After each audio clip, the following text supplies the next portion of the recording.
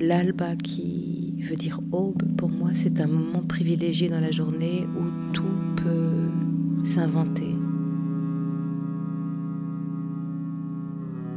Et ce mot, ça avait du sens par rapport au projet, puisque quelque part, c'est accueillir des artistes qui sont justement à l'aube de quelque chose de nouveau.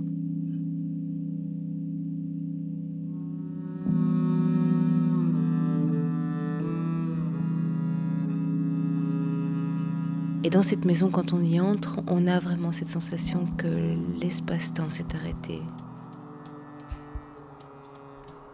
La lumière, elle voyage dans cette maison. Elle est là.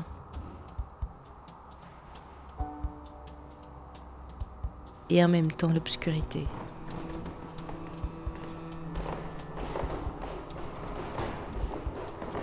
Cette maison, elle craque de par ses planchers, son escalier craque. C'est un orchestre à elle toute seule.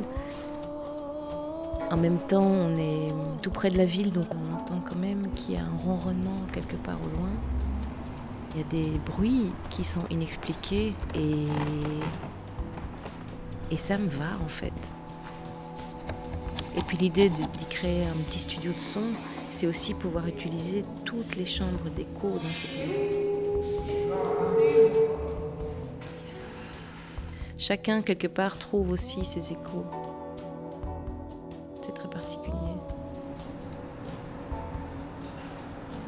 Ces deux ans ont été extrêmement exigeants et difficiles. Il fallait démolir pour reconstruire. Il y a eu des changements de cap.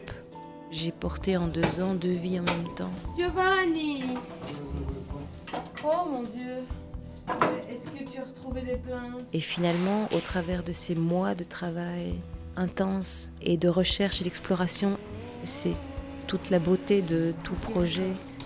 Quand on décide de voir en effet que la complexité, c'est quelque chose qui élève et quelque chose qui, qui inspire en fait. Ici à droite, Cette maison, elle nous pousse dans ses désirs, dans ses limites et dans ce qu'on est prêt à, donner à se donner, à donner aux autres,